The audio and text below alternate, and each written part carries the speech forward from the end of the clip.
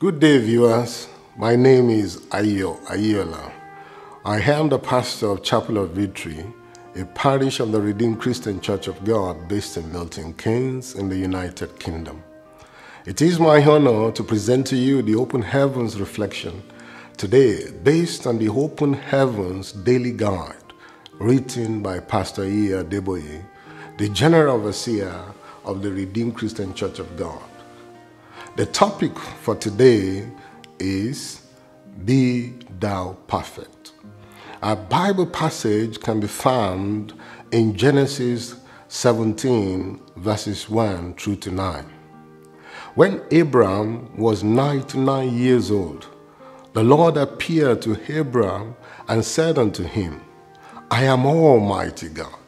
Walk before me and be blameless and I will make my covenant between me and you, and will multiply you exceedingly.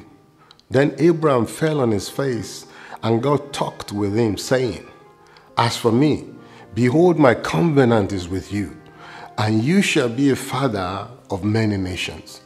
No longer shall your name be called Abram, but your name shall be Abraham. For I have made you a father of many nations. I will make you exceedingly fruitful, and I will make nations of you, and kings shall come from you.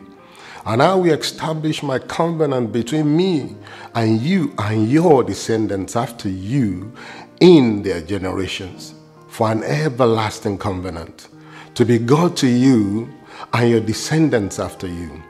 Also, I will give to you and your descendants after you the land in which you are a stranger all the land of Canaan as an everlasting possession, and I will be their God. And God said to Abraham, As for you, you shall keep my covenant, you and your descendants after you throughout their generations. Our memory verse today can be found in the book of Matthew, the fifth chapter, and the 48th verse. It goes thus Therefore, Ye shall be perfect, just as your Father in heaven is perfect.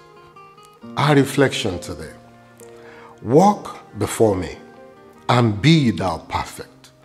It is in the life of fellowship with God, in His realized presence and favor, and it becomes possible to be perfect with Him.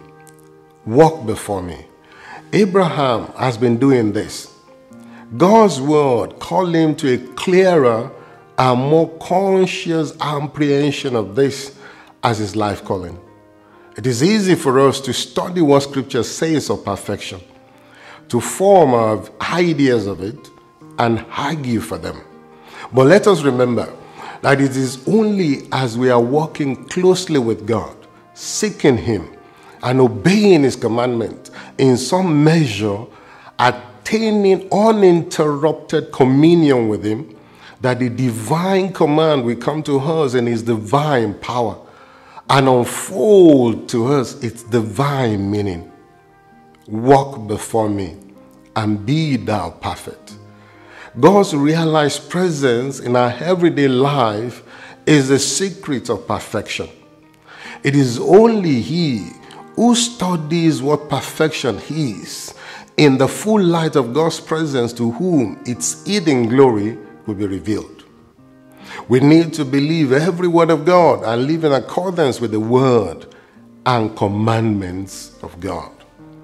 Our action point today is the Spirit of Jesus Christ help us into perfection. Therefore, accept Jesus today and ask Him to give you His Spirit and His Spirit will make you perfect. God bless you. Have a nice day.